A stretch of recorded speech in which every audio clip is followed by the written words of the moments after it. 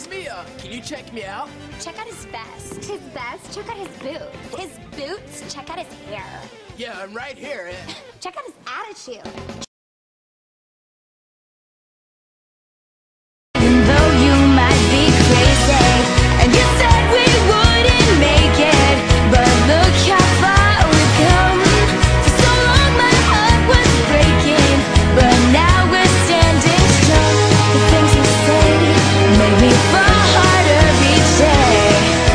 ashamed that, but I wouldn't.